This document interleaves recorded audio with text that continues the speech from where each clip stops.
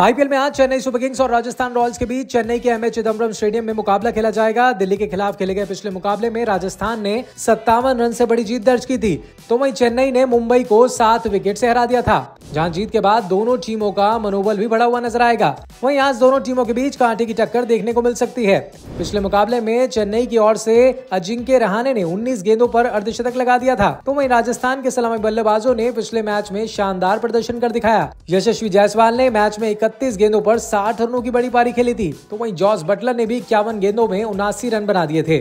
बात करें चेन्नई की पिच की तो यहाँ पर बॉल ग्रिप ज़रूर करता है और जिस तरह मैच आगे बढ़ता है, पिच भी धीमी होती चली जाती है। वहीं इसके अलावा चेन्नई में टॉस भी एक अहम भूमिका निभाएगा। 170 के ऊपर का लक्ष्य का पीछा करना किसी भी टीम के लिए आसान नहीं होगा।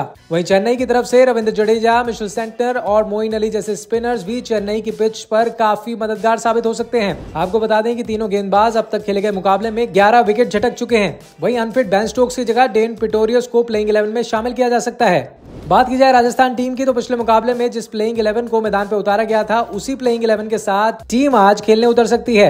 राजस्थान टीम खेले गए तीन में से दो मुकाबले जीतकर अंक तालिका में दूसरे स्थान पर है। ये टीम अगर आज मैच जीत जाती है तो फिर टीम टॉप पर पहुँच जाएगी। वहीं दूसरी ओर चेन्नई की टीम अभी अंक तालिका में पाँचवें स्थान पर है, जहाँ दोनों टीमों के बीच आज ये मुकाबला शाम साढ़े सात बजे खेला जाएगा। फ़िलहाल इस अपडेट में इतना ही। अगर आपको वीडियो पसंद आया तो लाइक ज़रूर कीजिएगा शेयर कीजिएगा और चैनल को सब्सक्राइब कीजिएगा।